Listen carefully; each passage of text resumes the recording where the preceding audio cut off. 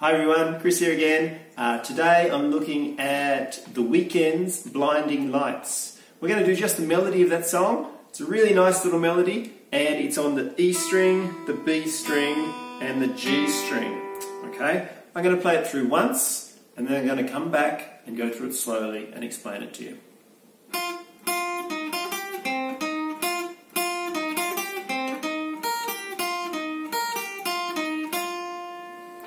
Okay, that's it. Uh, the first note is on, and the last note, is on the B string on the number six. Okay?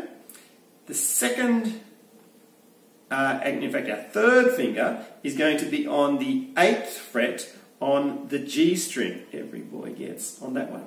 Okay? And it's two times on the six, one time on the eight, and back to the six again, and then to the 8 on the B string this time. Hear that? I'll just play that first bit again. So it's okay. There's the 6, pause, 6 again, then the 8 on the G string, back to the 6 on the B string, and then up to the 8 on the B string. Okay, from there, we're going up to the 5 on the G string, and then up to the 8 on the G string again. Okay, so it's from the start. Nice and slowly this time. We're on the B string. 6, pause, 6, going up to the G string, 8, back to the B string, 6, up to the 8 on the B string, down to the 5 on the G string, and up to the 8 on the G string.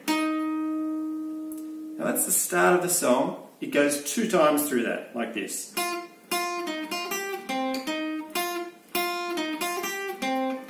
Oops. Then, the next part of the song. And it's going up to the 6 on the E string. And then the 8 on the B string, 6 on the B string, 8 on the G string. Again, that part was 6 on the E string, 8 on the B string, 6 on the B string, 8 on the G string. And the very last note of the song is the same as the first note of the song, the 6 on the B. So that last part again, we go. Okay, just one, one more time through the song, nice and slowly, from the very start.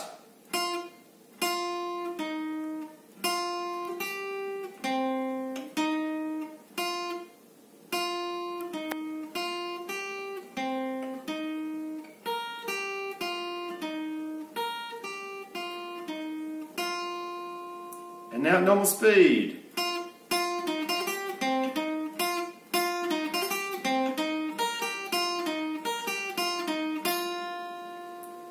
Okay, good luck playing with that one. It's a really fun little song. Uh, it does take a little bit of time to, to get correctly, and it's best if you use your first and your third finger, okay? If you're using just your first finger going up and down like that, it's a lot more difficult because it's actually quite a fast song. So if you've got your first finger here and your third finger already ready for the next note, it makes it so much easier. See, my third finger was just there, it was ready to go. And then the next one. My third finger again, it's, it's there, it's ready. I just played this note, then I go straight to this one. I'm not moving this one finger all over the neck. Okay? I'll see you again really soon for another Guitar Club video. Bye bye.